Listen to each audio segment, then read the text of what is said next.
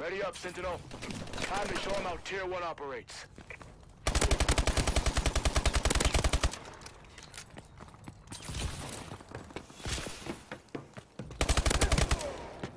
UAV recon standing by.